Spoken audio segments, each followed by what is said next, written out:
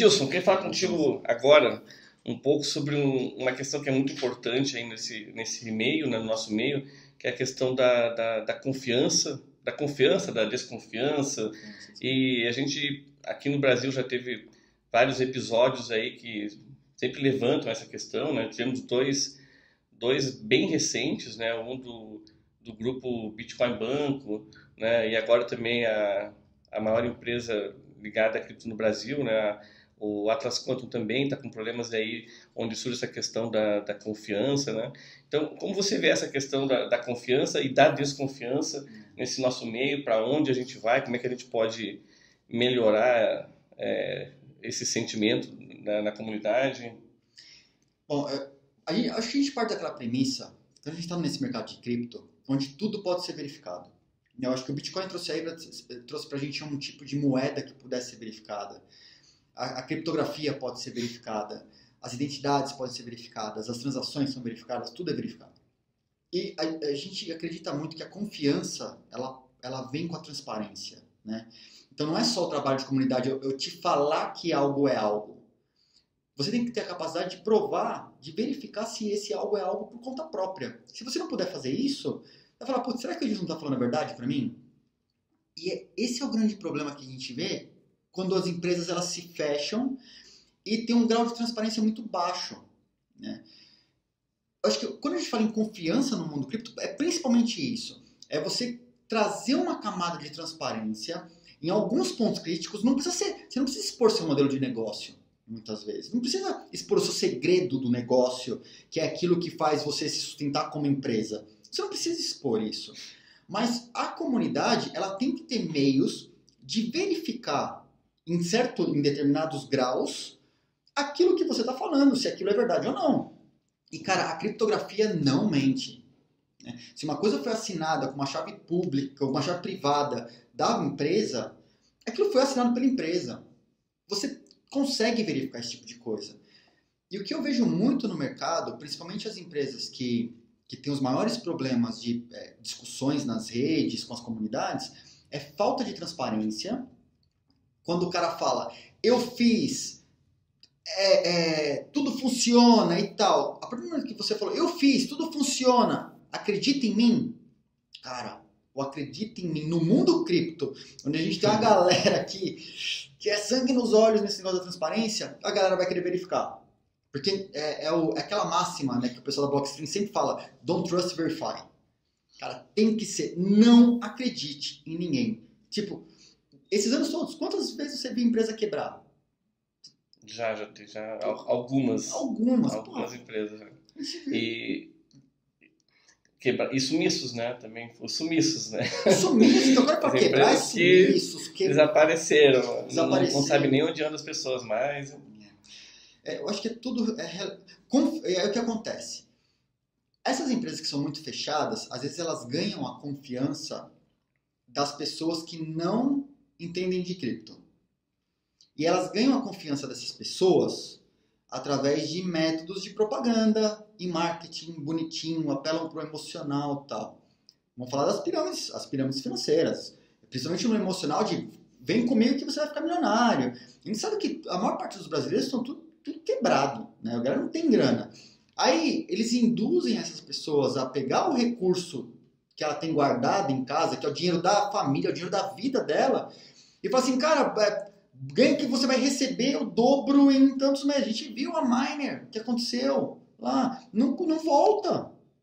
Não é, volta. Não, não, adianta, ah, mas foi para a justiça, é, foi para a justiça, mas de, de ir para a justiça até você ter o teu dinheiro de volta é uma distância Cara. muito longa aí e provavelmente não vai ser feito esse caminho de volta do seu dinheiro né, da empresa quebrada, falida, mesmo que, que, vá, que vão presos os responsáveis, não quer dizer que você vai ter todo o dinheiro de volta, né? Então, melhor é você, antes de botar o dinheiro, você já...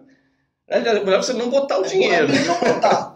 Tá? não botar, mas se você vai botar em algum lugar, você se informa o máximo possível sobre o que você está fazendo, né? Não vai na onda, não vai no comercial bonito do cara dirigindo um carrão com uma, uma esposa bonita do lado, cheio de criança sorridente, indo para um casão, e no final de semana vai para o iate, é, e faz convenção e sorteia carrão para o povo ali. Não, Bitcoin não se multiplica do é, nada. É, não, não, não existe isso, né? A multiplicação espontânea dos bitcoins. Então, isso não existe. Para você, é, são investimentos onde alguém vai pegar esse bitcoin que você tem, vai tentar comprar barato, vender caro para ter uma margem em cima dele e te devolver um pedaço do que ele ganhou. O risco é tão alto, eu costumo dizer que o investimento em Bitcoin, ele faz aqueles caras que operam na bolsa, no mercado de opções, chorar em posição fetal no canto da, da, da quina da, da, do quarto dele, sabe? Falando, meu Deus, o que, que eu fiz? Porque é tão radical o mercado de criptomoedas, ele é tão agressivo, cara, faz esses caras parecerem bebês chorões. Sim, é. sim, não, não tem nem, não tem nem como, como, comparar o mercado tradicional, né? Que o cara pelo menos sabe a hora que ele vai acordar, a hora que ele vai dormir, tem o fim de semana, tem o feriado, ele pode planejar a vida pode dele. A vida dele. É, o estresse dele vai estar naquele período limitado, né? Agora entrou nesse mundo aqui é 24 horas e Aí tem uma notícia, uma notícia na China, enquanto você está dormindo. Se o cara está dormindo, pode, pode ter se ferrado, né? Ou pode ter estado muito bem, ou pode ter se ferrado. Ou pode ter se ferrado. então, assim, por via das dúvidas, eu sou, eu sou bastante cauteloso eu prefiro falar assim, cara, não confie em ninguém que te promete retorno de investimento garantido. Ponto final. Existem empresas que podem ser mais sérias e que fazem um trabalho legal, e empresas que não fazem. Mas eu acho que a primeira coisa que você tem que fazer é sempre desconfie. Então, se você começar desconfiando, você já pode começar a, a, a ter, diminuir o seu risco de perda. Como que você desconfia da empresa? Poxa, vai atrás, vê quem são os envolvidos, faz uma diligência, é, quem é o cara, o cara... Já fez alguma coisa já antes. Já fez alguma coisa né? antes. E mesmo assim ainda corre risco de dar caca. Né? Você pode levantar tudo, o cara hoje tá perfeito, tá redondo, o cara tem um puta de um histórico legal, amanhã sumiu. E, e aí? Ferrou. Cara, então é, é difícil, sabe? Pode dar tudo errado, o cara pode fazer uma quase eu, às vezes eu falo que é mercado de apostas, não é mercado de investimento. Você não investe em Bitcoin, você aposta em Bitcoin. Né? Porque parece mais um mercado de apostas, você não sabe, você não tem controle sobre o que vai acontecer amanhã. É, é notícia, é o mercado, é a China, é... Cara, o mercado é muito louco. E sai uma notícia, né? O Google vai utilizar Bitcoin como Pro, bom. pagamento. Lindo. Aí chega a China e proíbe o Bitcoin e as mineradoras. Bum, de novo, né? Então, é, você fica muito exposto a essa, essas coisas do mercado. Quando fala, ah, mas o Bitcoin é, é, muito volátil. Cara, eu acho que volatilidade do valor do Bitcoin não é um problema. Eu acho que é uma feature, é uma funcionalidade da coisa. Significa que o mercado está se movimentando e a coisa vai para um lado ou para o outro. Legal. Só que essa, só que ela, ela, é, ela é, não é frágil, mas ele é suscetível a inter, inter, inter, como que fala, caceta? Intempéries. Intempéries. Intempéries do mercado. Puta palavra bonita, eu sempre vi os caras falarem isso, é a primeira vez que eu vou falar, não consigo. Né? Das intempéries do mercado. Porque você não sabe o que vai acontecer no governo da China, dá louca nos caras lá, bloqueiam, bum, Bitcoin para baixo. Isso acontece o tempo todo. E, e, não, precisa, não precisa ser na China. Exchange grande quebra para baixo de novo. É, e às vezes não precisa nem quebrar, né? Deu, deu um, entrou em manutenção lá, manutenção Nossa, que é real, que é séria mesmo, os caras estão lá realmente, mas achavam que ia durar uma hora e por alguma razão dura seis horas. Isso já causa. Já causa um caos. Já causa, né? O pessoal já começa já começa as, as, as especulações. Né? É. Esse, esse tipo de especulação que me, que, que, me irrita, né? Porque a gente conhece empresas sérias, né? É, de amigos nossos, e que acontece exatamente isso, quer fazer uma manutenção, vai mudar a plataforma. Aí achava que ia durar seis horas, ia conseguir fazer durante uma madrugada, e deu um problema e não conseguiu. Ficou o final de semana inteiro.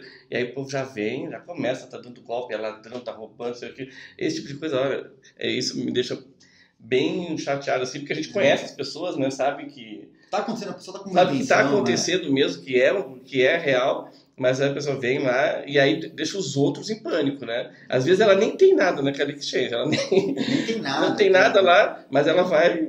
Né? Então eu acho que a gente tem, tem que ter uma certa responsabilidade com isso, com isso, com isso também, né? Porque nesses últimos tempos, claro que são fatos que deixam a gente preocupado, né? Foram dois grupos muito grandes, né? O, o caso do, do Bitcoin Banco mais mais sério ainda, né? É, O da Atlas, pelo que eu está se acompanhando, a coisa está tá, tá se resolvendo, está tá andando, né?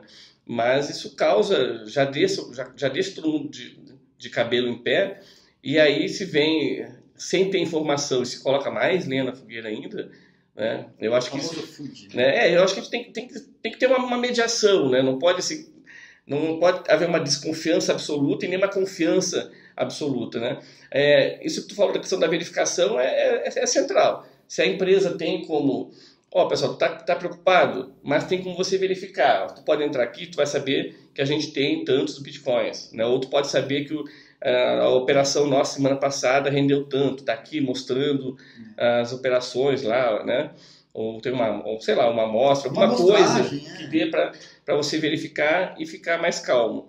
Né? Porque também se a gente vai da, da, da confiança cega à desconfiança cega, me preocupa muito assim a desconfiança cega, porque daí daqui a pouco chega um cara com uma ideia legal, ó, tem uma ideia legal esse projeto aqui, quero, quero montar uma empresa, uma startup.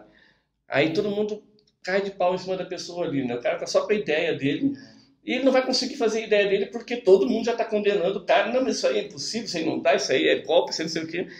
Pera, vamos, vamos, vamos ver, vamos ver quem é a pessoa, vamos ver o projeto, vamos analisar se é viável ou não, né? Porque também tem que, tem que, ter, tem que ter um espaço de confiança para que surjam outras coisas. Porque se o espaço é só da desconfiança total, aí não vai surgir nada. Ninguém, ninguém, a não ser que eu mesmo tenha, eu tenho dinheiro, vou fazer o projeto sozinho, não preciso que ninguém confie em mim. Eu vou fazer, não preciso de ninguém junto. Né? Mas não é essa a situação. A gente sempre vê que é o contrário. Né? A pessoa tem, tem uma ideia e sai atrás de, de, de parcerias para conseguir colocar aquilo ali. Então tem que haver um, um pouco de confiança para conseguir botar alguns projetos interessantes em, em, em funcionamento. Né? Mas é isso, nem a confiança 100% e nem aquela desconfiança total absoluta assim, né? que, que também não, não, acho que não, não ajuda, acaba é, matando muitas iniciativas aí que não andam por, por causa disso. É, Eu acho que ah, pode até ficar como dica para o empreendedor desse mercado, quando ele apresenta um projeto, ele já pode, eh, leva isso como premissa. O mercado de cripto necessita de confiança. A confiança ela vem através da tr- transparência e da possibilidade de se verificar o que está sendo falado. Então, quando você trouxer um projeto, verifique em quais Já níveis, pensa nisso, já né? pensa nisso, já apresenta, falando, olha pessoal, eu não quero que você confie 100% em mim. Eu quero que você tenha, estou te dando já ferramentas que, de transparência e, e auditabilidade, coisa assim, para já trabalhar a comunidade, entendendo que você está bem intencionado e que elas vão poder ver se você está fazendo errado ou está fazendo certo. Então, se, se o empreendedor, se ele já entende um pouquinho como é esse mercado e não vem como Não vem com aventura produto fechado também, né? fechado, que esse é o problema. O cara vem com produto fechado, não tem nada open source. A gente é de comunidade open source, a gente sabe o que, é uma, uma caixa fechada, um, só, um software aberto, né? O cara já vem com uma camada. Cara, você aumenta a confiança e você agrada a, a comunidade porque você passa a ter diálogo com a comunidade, porque ela sempre traz é, insights riquíssimos para o que você está fazendo.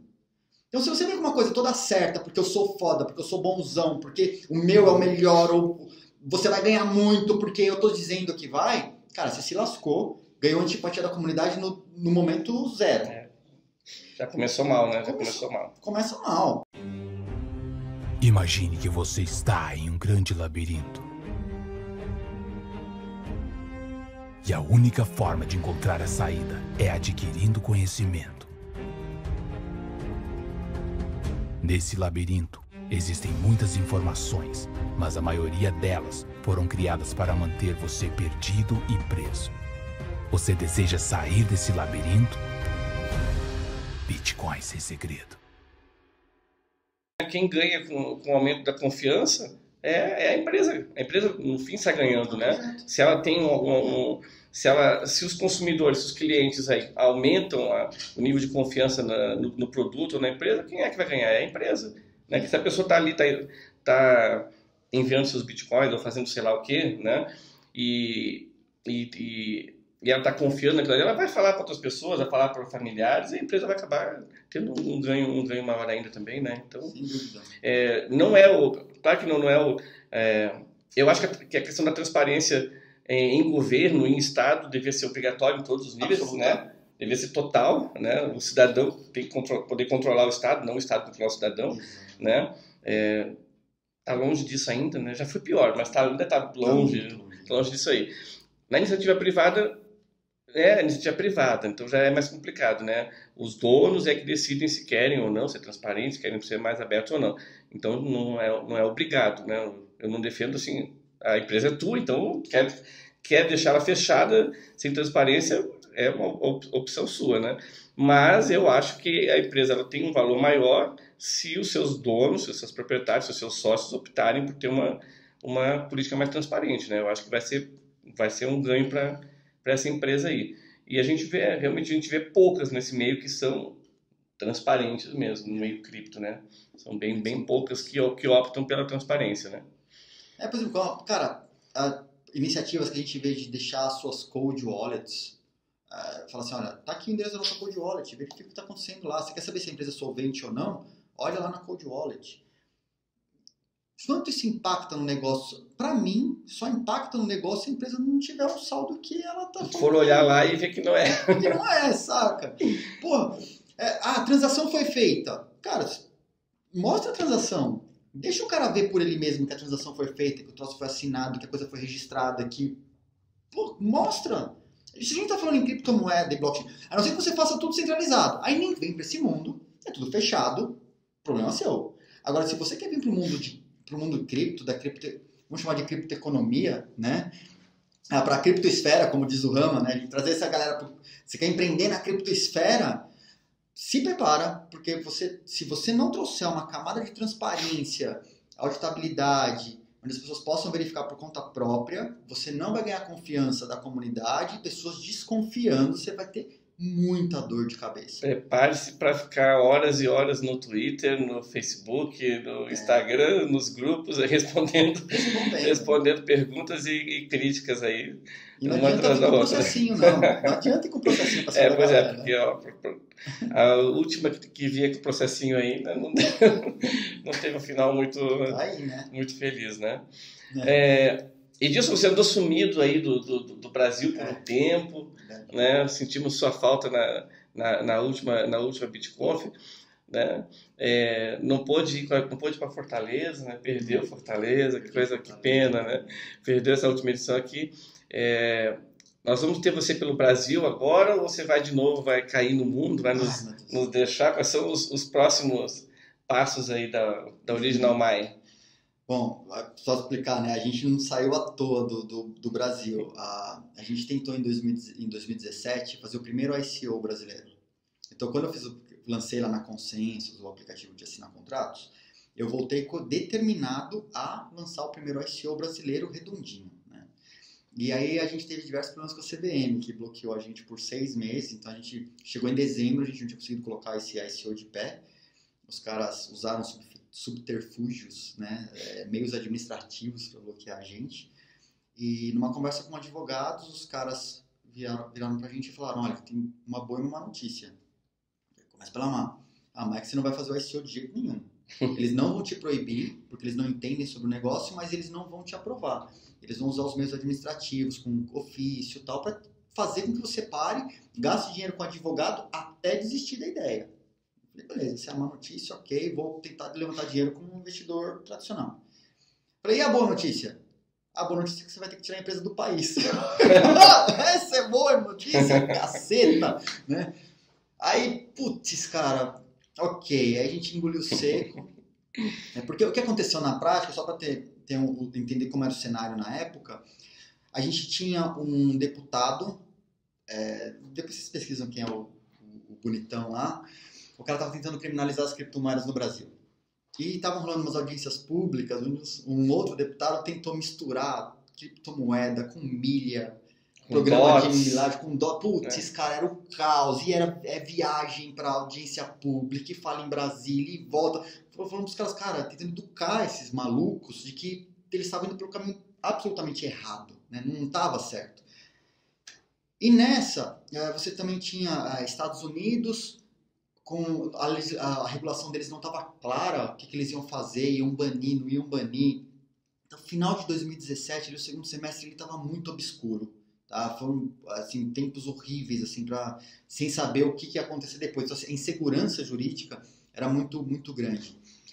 Então decidimos sair a gente fez uma, um estudo é, cruzando né, tributário, regulação e custos, porque a gente, nosso caixa, a Original Mai é uma empresa, cara, que, pasmem, tá? a gente fez um baita do trabalho, mas a empresa não se paga.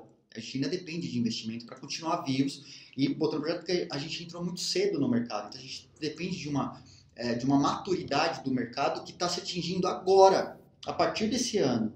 Mas nos anos anteriores não. Então 2017, cara, não, não tinha faturamento a empresa. Zero de faturamento praticamente. Bom, decidimos uh, tirar a empresa do país e aí surgiu Suíça e Estônia. E quando você pesa Suíça e Estônia, a Estônia, tudo bem, sete vezes mais barato, então pesa um pouco mais. Mas a Estônia, ela está no, no, no, mercado europeu, ela está na União Europeia, que a Europa para a gente faz muito sentido, cara. Você pega ali é, Itália, França, Portugal, Espanha, eles têm o mesmo perrengue de, sei lá, cartório, burocracia, tudo É parecido gente... com o que a gente tem aqui. A gente importou deles, né? A gente aprendeu com eles. É eles... Nossa, que é parecido com o deles. Nossa, que é parecido com o deles. Eles mandaram aquilo lá pra gente presente, né? Essa desgraceira de burocracia.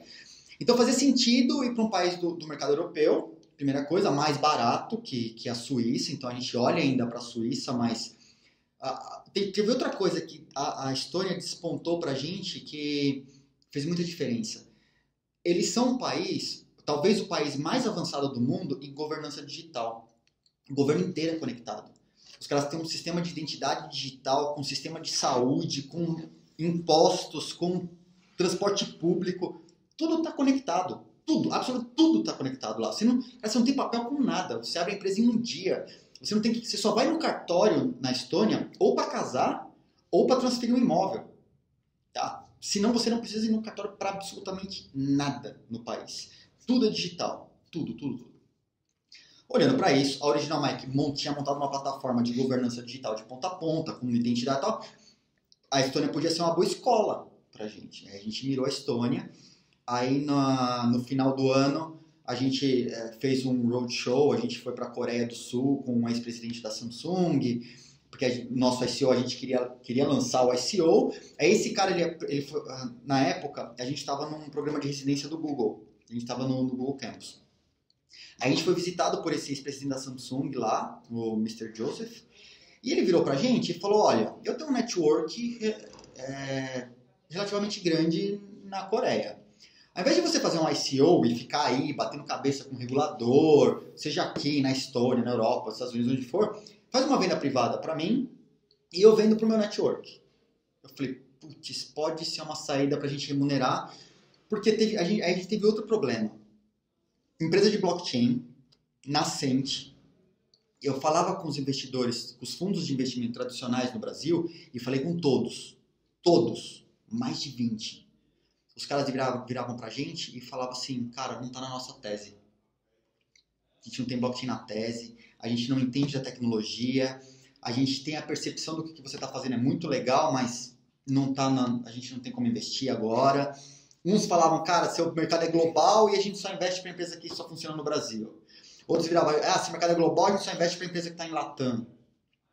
Então, imagina a nossa situação. A gente não conseguiu levantar o recurso através de um, de um ICO. A gente não conseguiu levantar recurso através do, do de fundos de investimento tradicionais e a, a situação estava punk. Aí quando o Joseph chega para a gente e fala, olha, é, faz uma venda privada para mim e eu vendo para o meu network, só que você tem que me acompanhar para lá para eu te apresentar e saberem que a Original Mike faz um trabalho sério no Brasil, porque ninguém sabe o que está acontecendo no Brasil lá na Coreia. Uhum. Vamos para a Coreia. Então fui, a gente foi duas vezes para a Coreia, fizemos meetups do Original Mai na Coreia, no Japão, e aí a gente fez uma venda pequenininha de bitcoins para ele, mas foi suficiente para rodar o, o, ano passado.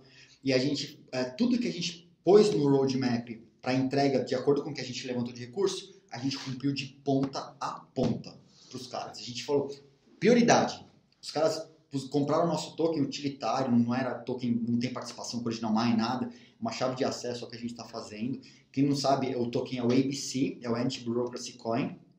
E hoje você pode usar ele na plataforma do Original Mai ou para ter desconto na plataforma, ou se você fizer um stake desse token, você tem descontos progressivos. Então isso já está funcionando e o token vai impulsionar a rede descentralizada que a gente está desenho, tá desenhando. Porque a gente acredita que a pessoa que entrega os dados pessoais merece recompensada e o validador de dados também merece recompensado. Então a gente criou uma mecânica onde, de recompensa é, nesse jogo de validação é, de dados. Né? A gente, e o ABC impulsiona essa, é, esse, esse meio de validação.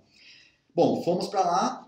Na volta já uh, fui para a Estônia, abri, abri empresa na Estônia. O ano passado a gente fez diversos eventos na Europa para difundir a Original My pela Europa.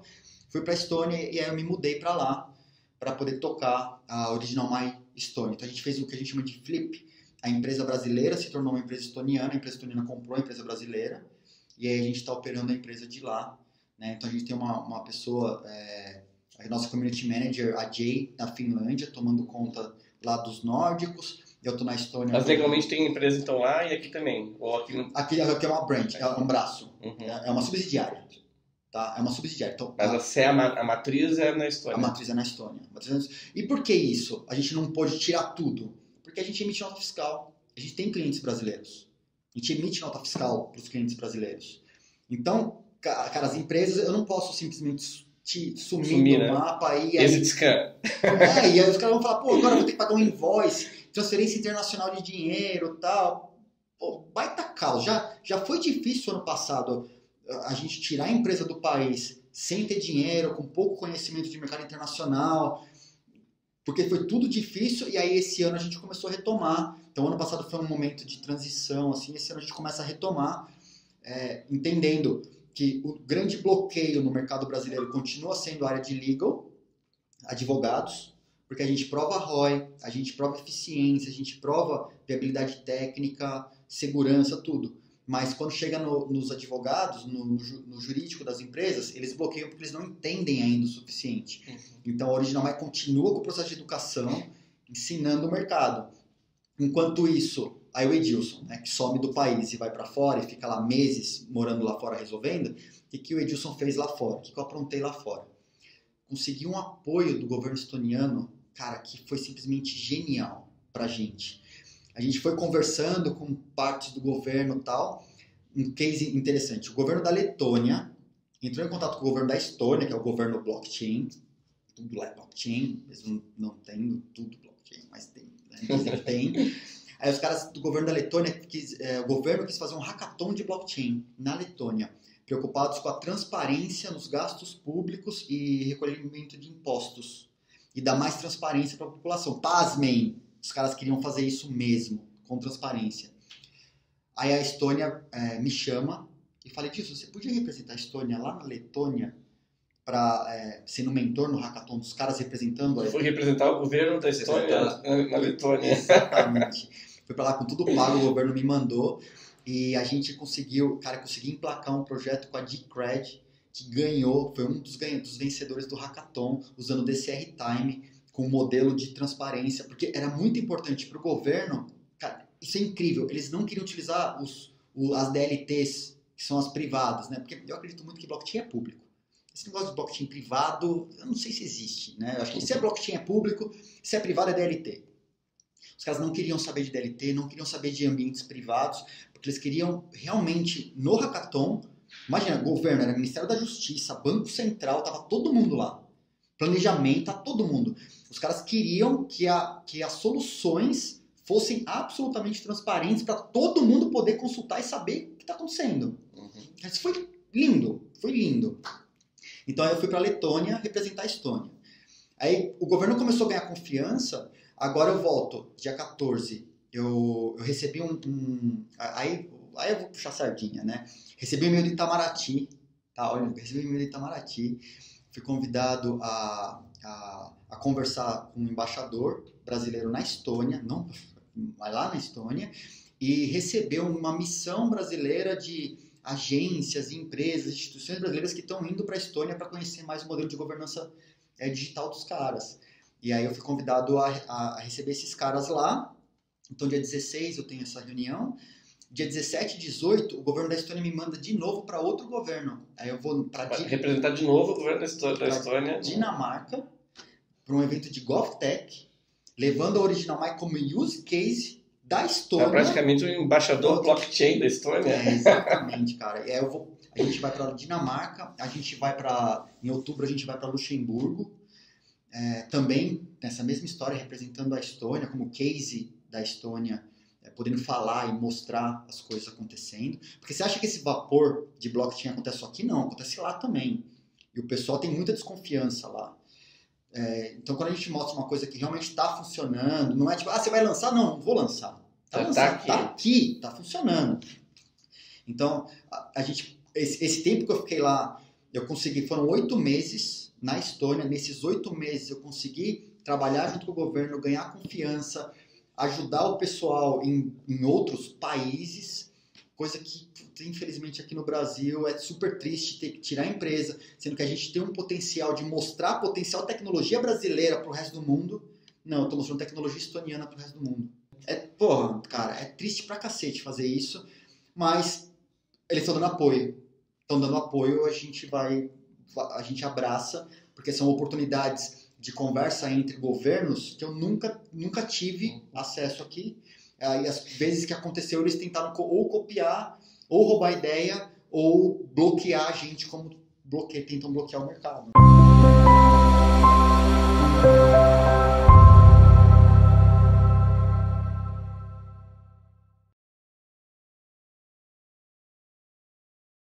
É uma, é uma pena, né? Que aqui no Brasil a gente não vê iniciativas, né? Nem em, prefeituras, em, nem em governos estaduais, nem em governo federal, não se vê, né? Esse, o Brasil é com um potencial enorme, né? Podia virar uma zona amiga, né? De, de iniciativas aí, cripto, blockchain, trazer com isso um monte de recursos para cá, né? Mas vai assustando. Não vê essa movimentação, né? Tive movimentação inversa aí, né? Mas como quem está nesse meio também, né, a gente, acho, pelo que eu percebo, a gente não é muito ligado nesse negócio de fronteiras, né? Então, para nós, o mundo inteiro aí é, é um só, então... É, fica mais segue fácil, lá né? de embaixador brasileiro, estoniano. É. Ó, coisas legais que a Original Mike conseguiu nesse, nesse meio tempo, enquanto a gente estava lá fora. Saiu um estudo de uma agência da ONU é, listando alguns use cases reais de blockchain causando impacto social. Original Mai foi listada pela ONU como use case real de blockchain causando impacto social em governos e, e serviços públicos. Cara, isso quantas quantas empresas brasileiras têm um, conseguem um, um, reconhecimento desse, um estudo ou a ONU te estudando e te listando num, num relatório. Né? Aí a gente conseguiu também um, um reconhecimento da União Europeia como Trusted Blockchain Application os caras estudaram a Original Mai, viram o que a gente faz e reconheceram que é uma. Deram lá um selo de garantia. É, é, somos membros então do INATBA, que é uma associação de Trusted Blockchain Applications da União Europeia. Né? Isso, pô, é animal pra gente. Aí eu, sou, sou, membro também do Observatório, oh, oh, Deus, do Observatório Europeu de Blockchain, porque aí eu vou ajudando e, e disseminando e tentando passar informação boa pro pessoal. E tem uma coisa que o pessoal não sabe, que bom, pouca gente sabe aqui no Brasil, a gente tem a ABNT, na verdade, a ISO. A ISO todo mundo conhece, né? O International Standards Organization. Os caras criam normas. Só que o pessoal acha que normas são coisas que estão te mandando fazer, estão te mandando seguir. O que a ISO está fazendo de blockchain, eles estão tentando entender tudo que tem de blockchain ao redor do mundo, todas as iniciativas de blockchain e quem está fazendo o que e como para documentar as melhores práticas e as melhores maneiras de se executar coisas. Então, quando você fala em norma blockchain, não é que tão, vão te forçar alguma coisa no futuro, não. O que eles estão fazendo é mapear o que está sendo feito para apresentar para o mercado e falar assim: mercado, você não sabe onde buscar informação? Eu fiz a lição de casa, compilei o que está sendo feito de bom e de ruim. As melhores maneiras que a gente entende com os melhores profissionais do mundo são essas. Então, a, a BNT aqui no Brasil, ela espelha esse grupo da ISO, é, fazendo esse estudo no Brasil, levando em consideração o mercado brasileiro. E aqui eu sou o relator do grupo de segurança, privacidade e identidade. Então eu tenho a, a oportunidade de representar a, o Brasil na ISO, via a BNT, e discutir coisas com os maiores especialistas. Aí não tem bullshitagem, né? aí não tem besterol. Ufa, enfim, enfim, algum espaço de discussão internacional onde não tem representante do Brasil falando bobagem. É, então aí, cara, eu fico feliz de poder contribuir, primeiro, né, e defender os interesses do Brasil lá. É, porque o pessoal, às vezes, às vezes, as brigas lá não é em relação à tecnologia, porque todo mundo que está lá na ISO, o pessoal discute tecnologia em altíssimo nível, cara, são criptógrafos, pessoas que entendem fudidamente, assim, às vezes, cara, um cara com quem eu trabalho diretamente lá, ele é listado entre uma das 100 maiores mentes da identidade digital no planeta. O Paul Ferris, cara, é, um, é uma delícia trabalhar com esse cara. cara eu sou fã do cara, sabe? E desenvolvendo o, o material, estudando identidade em blockchain no mundo inteiro para montar um, um, documento que represente o que é a identidade blockchain. Né? Com um cara. É, tipo, sou fã do cara. Então, é muita gente séria, muita gente boa. Só que o que acontece lá é disputa de interesse político também. Então, embora os caras sejam muito bons, você tem, você vê lá é, encrenca entre Japão e Estados Unidos, China, Estados Unidos, China, Estados Unidos, Estados Unidos e Londres e, e UK por interesse, porque quando chega num determinado ponto, a discussão ela, ela, a gente percebe que ela deixa de ser técnica e é mais para eu quero colocar o dedo aqui porque eu preciso falar com os Estados Unidos ou, ou a, o Japão ou a Índia ou qualquer um, tá? Não, tô, não vou falar, falar mal de um só, vou falar mal de todos, tá? Os caras querem botar o dedo só por colocar o dedo para falar meu país alterou essa vírgula. É... E aí, como tudo na ISO é resolvido por consenso e é mesmo resolvido por consenso, cara, as discussões não vai a votação, lá nada vai ou chega a, a votação é consenso. Então, na verdade, o consenso é a, a direção mais forte para onde está indo a decisão. Uhum. Tá? Esse é o consenso. Então, não é que tem que ter consenso de 100%. Mas tem que ser expressivo. Tem que ser expressivo. A direção tem que, cara, massivamente tem que ir para um lado, sabe? É, aí as discussões são homéricas e aí a votação do consenso, cara, são humanos num auditório votando o negócio. Então, aí volta, aí discute de novo, aí redige, tá bom assim e vota de novo. Aí o cara fala, não, troca a palavra branco por verde. Ah, tá bom, aí vota branco e verde. Não, não, verde não tá bom, aí vota de novo. Então, são semanas de discussão. e eu vou te falar que é tenso. Como é sofrido participar, mas esse lado burocrático de atingir o consenso por meio de, de pessoas, óbvio que é cansativo, mas o fato de você poder participar e ter acesso a documentos estudos seríssimos sobre casos de uso, sobre tecnologias, no meu caso, na identidade, na segurança. O pessoal fez um paper é, recentemente lá que lista todas as vulnerabilidades encontradas nos, nos blockchains mainstream. Então os caras estudaram Anel, estudaram EOS, estudaram Ethereum, estudaram Bitcoin a fundo e fizeram um mapeamento das principais vulnerabilidades, reentrância, tudo, cara, tudo mapeado. Pô, isso é muito legal ir para documentos, para um relatório oficial. Isso é animal. Tá? Você tem tudo disperso, você vai ter um lugar com um relatório listando de verdade vulnerabilidades que fizeram a galera perder dinheiro. E potenciais vulnerabilidades que acontecem, né? Então, isso ajuda a indústria a, ter, a, a, a ser guiada à melhor adoção. Mas o trabalho é lento, né? E, bom, você vê, todos os países que estão lá estão sendo patrocinados pelos países. Agora, ver se o Brasil patrocina a ida dos brasileiros para discutir na ISO. A... Não tem, não tem esse apoio. Zero. A gente não consegue, a gente tem que bancar do bolso. O Itamaraty lá não, não, conseguiu se mexer e encaixar na, no orçamento deles lá? Nada, não. nada, nada. A gente banca do bolso. Eu já fui em três reuniões. Essa, ele começou, o, o, a ISO começou com esse movimento em 2000, final de 2016. Foi a primeira reunião na Austrália, se não me engano. Depois teve no Japão. Essa eu não participei. Depois eu fui para Londres, fui para Rússia, fui para Dublin e vou para Índia agora em novembro. E esse é um dos motivos que eu não sei se eu estarei no Brasil para a data da, da, da BitConf, porque talvez eu esteja na ISO, representando os interesses do Brasil pela BNT, para a construção de uma norma, ou mapea, o mapeamento. É no mesmo, no mesmo período. É mais ou menos no mesmo período. Uhum. Então tem um bom motivo de eu não, de eu não estar tá presente é. de novo. Já, assim, vou, vou até mudar a data do BitConf, então. é, senão eu vou bem, vai bem. Vamos mudar a data para poder ter o Edilson com a gente aqui. É, mas a gente tá fazendo um trabalho sério lá, tá Cara, eu acho que faz, faz sentido, porque a gente ajuda a adoção no mercado, não só pela Original Line, mas se vocês olharem, a própria Original Mine não é só Original Mine pela Original Mine, mas é Original Mine porque a gente está entregando de, de disrupção para o planeta, acabar com burocracia, fraude, corrupção. Cara, a gente tem essa missão, é de verdade.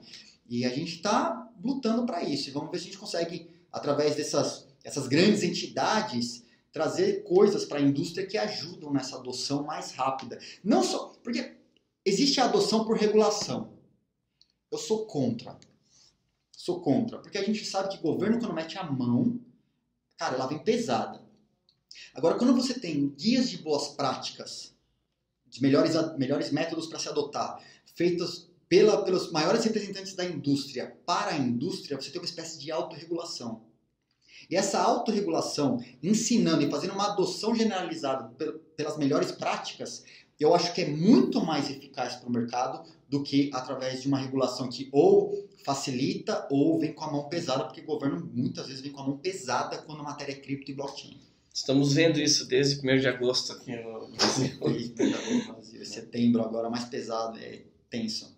Mas estamos aí, conta com a gente, cara. Tô, o que, enquanto a gente tiver gás, a gente vai continuar participando e tentando promover a, a, com que a adoção do blockchain seja feita de uma maneira mais organizada, mais orgânica e, e cara, que ela seja adotada pelo mainstream. Acho que a nossa meta é ser adotada pelo mainstream e que todo mundo possa utilizar criptomoedas e blockchain de maneira é, geral no dia a dia sem nem saber que está nem saber que tá usando. Igual você que está usando o Linux aí nem está sabendo ainda, né? Acha que está é, até no Windows você está usando o Linux agora. É, então, até no Windows você usa Linux. Vamos chegar, vamos chegar nesse dia também. Tá todo mundo usando blockchain e as criptomoedas aí sem nem saber que estão usando aí. Então você que não conheceu o Edilson, agora conheceu já quase tudo da vida dele aí e aprendeu que blockchain vai muito além de Bitcoin, vai muito além de, de criptomoedas aí, pode ter impactos reais na vida das pessoas aí. Edilson, muito obrigado. Tem alguma. Quer se despedir do pessoal aí? Pode. Quero, obrigado pelo convite. Pessoal, assistam o próximo, tá? Espero que eles bom, assistam o próximo. E, bom, valeu pelo convite de novo. O que puder contar com a gente, o Original Maio, o Edilson, eu tô aí para dar uma força sempre que possível. Eu tô um pouco afastado da comunidade porque, cara, eu tô bombado de trabalho, mas eu tô sempre vendo, eu sei o que tá acontecendo, não interajo. Uma que eu não entro em polêmica, aí deixa a galera se matar mesmo, eu quero que se lasque. Agora, o, que eu, o que eu posso contribuir, a gente vai aqui meio distante. Contribuições reais, né? Não precisa ficar reais. Só... É, a gente quando é para contribuir, tenta fazer que nem o Valida P2P, que nem o HAL, tá? Tem um protocolo de votação secreta, é só última, tá? É, é, eu escrevi no início desse ano o primeiro protocolo é, real de voto secreto em blockchain público. Então você consegue emitir o seu voto de maneira, você é valida, sua identidade é validada, você emite o seu voto que é registrado num blockchain, você consegue ver o seu voto e saber se o seu voto é o seu voto e ninguém consegue ver em quem você votou. E cria uma prova de conceito, isso é público também. E um dos próximos passos do, da, da Original Maia é conseguir implementar o protocolo, que é, tem o white paper, tem a prova de conceito, implementar isso como produto e ajudar o mercado também em eleições privadas e públicas, talvez. É, mais uma coisa, está lá, está no forno, está publicado no meu GitHub, quem quiser ver, está lá funcional. Então a gente vai fazendo, vai publicando o que dá para publicar, obviamente, e vamos continuar ajudando o, mercado como um todo. Então é isso aí. Obrigado, Edilson. Até a próxima aí. Valeu, até e até o próximo aí se tiver. Não, vai ter próximo. Vai ter próximo, vai ter próximo. Então aí, tá? Até mais.